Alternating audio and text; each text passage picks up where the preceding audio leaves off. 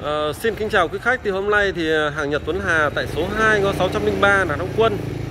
Với website là gia dụng nhật.vn thì hôm nay chúng tôi sẽ review cái mẫu ghế massage KC8600 cái mẫu ghế KC8600 này thuộc cái phiên bản Camry là phiên bản đắt nhất của cái dòng ghế massage của Taijitsu cái mẫu dòng Taijitsu này ra thì ờ, được phát triển thiết kế và tại Nhật à, thì đầu tiên là chúng ta sẽ điểm qua những cái công nghệ mà của cái dòng Taijitsu này ra thì ờ, xem nó có những cái gì nhé thì đầu tiên đây là cái dòng ghế mà có thể nói là vua của trong dòng ghế phân khúc của cái dòng ghế massage Taijitsu và cũng là dòng đắt nhất chúng tôi nhập về hiện tại.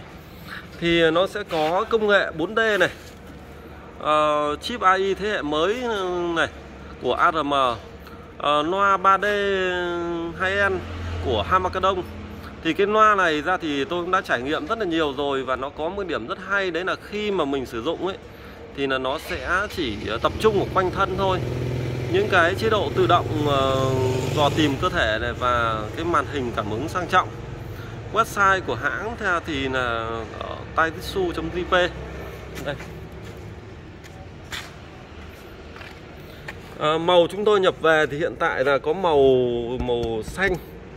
Trọng lượng của máy thì nó rơi vào tầm 120 kg Thiết kế và phát triển ở Nhật bởi Taijitsu Website Taijitsu Ok, bây giờ chúng tôi sẽ bóc thử cái con uh, Taijitsu này ra để xem là bên trong nó sẽ gồm có những, tất cả những cái gì.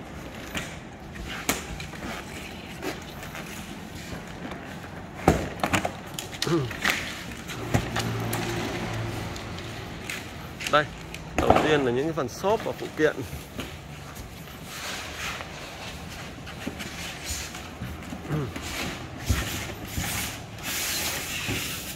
Đó, khi cái mẫu tay Tajitsu mở ra thì bạn đã có thể thấy một cái màu xanh ngọc đây mọi người hay gọi cái mẫu này là gọi là mẫu của màu ngọc lục bảo ấy. Tức là nó rất là giống như cái so cái màu ngọc lục bảo luôn.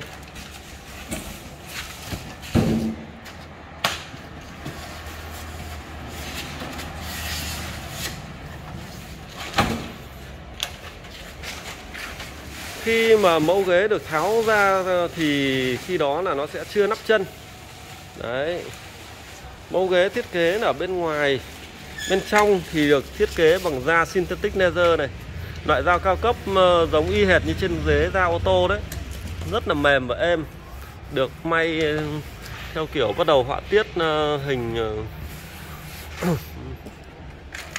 tay thì tất cả những cái điểm như ở trên tay này, chân này thì đều được thiết kế bằng nỉ để giảm được tối đa là cái vấn đề mà hỏng hóc của da. Bởi vì thường thường là Ờ, da sẽ chủ yếu hỏng cho trên những phần tay và bóp chân đấy là chính. Nó sẽ bị uh, xước này bị ờ, uh, móp này uh, bị vỡ này hoặc là bị rách ra thì ở trên thì nó làm bằng phần nỉ này. Và thiết kế là để có thể mà thay đổi được cho nên là cái phần uh, da ghế của cái thằng tay su này rất dễ có thể thay thế và sửa chữa.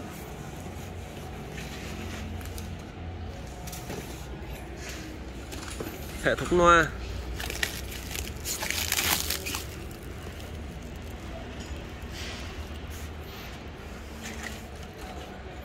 Thất của máy. Bóc thử một chút nhé phiên bản Camry. Camry Nhật Bản.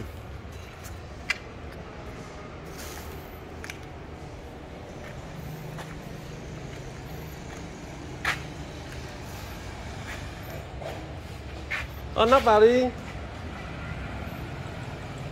Nắp vào đi ờ, ra nào. Đây đây là phụ kiện ốp chân của máy đây.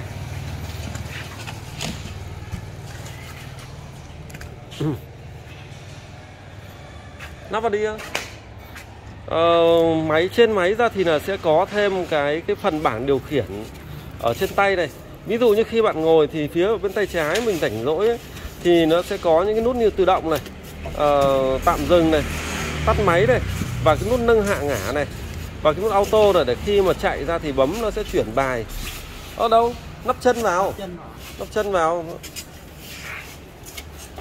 Ở trên đây thì sẽ là bắt đầu để nắp cái bảng ờ, chân điều khiển. Nắp bảng điều khiển ra của máy ra để bắt đầu là khi đó mình sẽ sử dụng của cái dòng máy cảm ứng này. Nó thử vào đây nào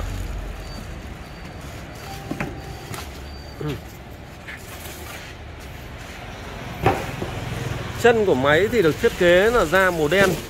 Bên trong là nấp nỉ, cho nên là rất dễ thay thế và sửa chữa luôn. Cái dòng Camry này khi mà sử dụng ra thì cái hệ thống chân của nó rất đặc biệt. Cái hệ thống chân của cái dòng Camry này thì ờ, tí nữa tôi sẽ review cho các bạn thấy là nó có khả năng co duỗi rất là tốt luôn. Và nó là một dòng trong những cái dòng duy nhất mà có thể là vừa kéo, vừa bẻ, vừa rút chân được. Hầu như chưa có dòng ghế massage nào có thể làm được những cái vấn đề như thế này. Quy trình ờ, nắp chân vào máy thì cũng rất đơn giản.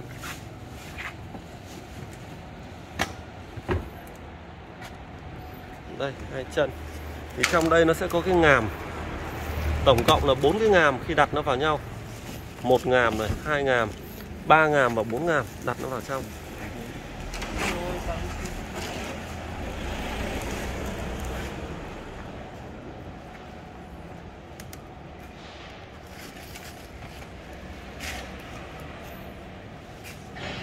Thật sự là mẫu này quá sang trọng các bạn ạ. Nó sẽ là một trong những cái mẫu mà có thể nói là khá đỉnh cao của dòng ghế Mazda Taijutsu đây, bên đây là phụ kiện của sách ừ, sách này. Đều thiết kế được màu đen, rất là sang trọng. Bảng điều khiển. Rồi, chờ một chút, để tôi thử xem là trên sách này ra thì nó sẽ có, gồm có những cái phần gì nhé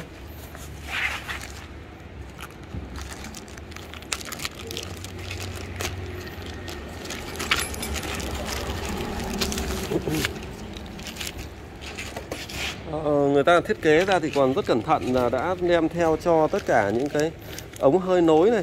Cái ống hơi nối này ra thì sau một thời gian một thời gian khoảng vài năm thì thường thường nó sẽ bị gãy thì nó rất là cẩn thận rồi. Ở trong ờ, máy ra thì sẽ có hai quyển sách hướng dẫn. Một sách thì là bản tiếng Nhật. Đây. Một sách thì là tiếng Nhật một sách theo tiếng Nhật thuộc phiên bản Camry ừ, KC8600 này. Rất tiếc là tôi chả biết tiếng Nhật. Thôi ta bỏ tiếng Anh ra xem thử nhé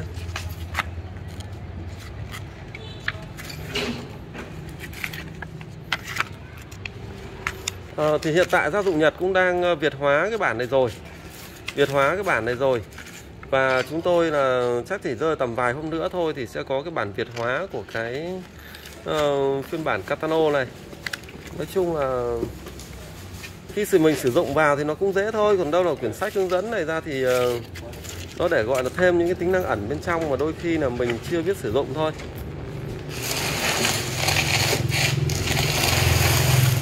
Ừ. Công nghệ 4D này.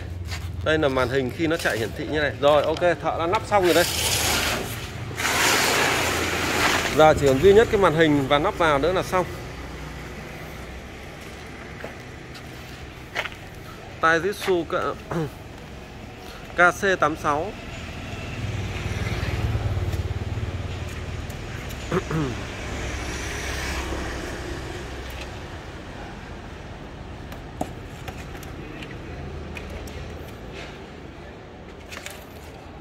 Màn hình của máy thì hoàn toàn là dòng cảm ứng hết. Nhưng mà bởi vì đây là nó vẫn còn đang nguyên siêu chưa bóc, Cho nên tôi cũng không dám bóc ni lông này ra thì khách hàng là mua thì lúc đấy là mọi người sẽ tự bóc. Cắm điện nhanh. 100V nhé.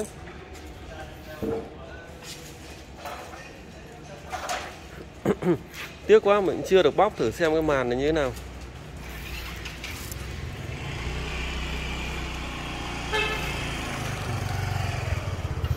Rồi ta sẽ nói qua một chút về những cái phần mà tính năng của dòng ờ, KC86 đấy nhá. Thứ nhất là công nghệ 4D bóp đa điểm này. Đây là cái công nghệ mà rất đắt của trên những cái dòng phiên bản. Về nói về thiết kế thì hoàn hảo luôn. Tôi nghĩ rằng là cái mẫu ghế này mà đặt ở trong nhà thì đặc biệt là nhà biệt thự hay là những cái chung cư để mà khách đi vào mà nhìn nhà thì chắc là khỏi chê luôn. Không có cái điểm gì có thể chê được ở trên cái thiết kế của cái dòng uh, KC86 này. Vô cùng bề thế và bệ vệ, nhưng mà nó có một cái nhược điểm. Nhược điểm mà theo tôi là thứ nhất là nó hơi to. Và cái thứ hai là bởi vì cái dòng ghế này to, thành ra với những cái người nó với những cái người nào mà dưới mét 50 thì nằm sẽ bị với. Tức là với những cái dòng ghế này tốt nhất là nên nằm với những cái người mà cao ở mét một mét năm trở lên. Thì theo tôi đây là một cái nhược điểm của cái dòng ghế KC này bởi vì nó là thiết kế rất là rộng rãi và to, cho nên đi kèm theo nó thì nó sẽ có một cái nhược điểm nhỏ như vậy. Cho nên là khi mà khách hàng muốn sử dụng ra thì nên lưu tâm đến cái vấn đề này. Ok.